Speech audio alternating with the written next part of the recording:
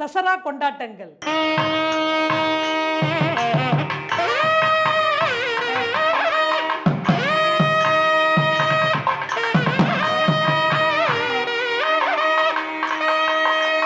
இந்த வாரம் முதல் ஃபுட் டேஸ்டியில் நவராத்திரி ஸ்பெஷல்.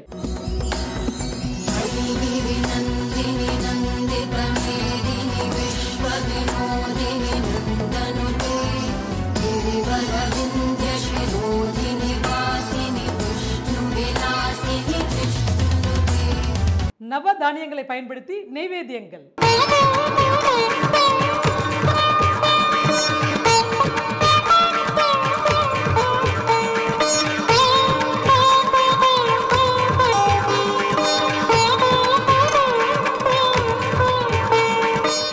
ஒவ்வொரு நாளும் தேவியின் ஒவ்வொரு அவதாரத்துக்கும் பிடித்த பிரசாதங்கள்.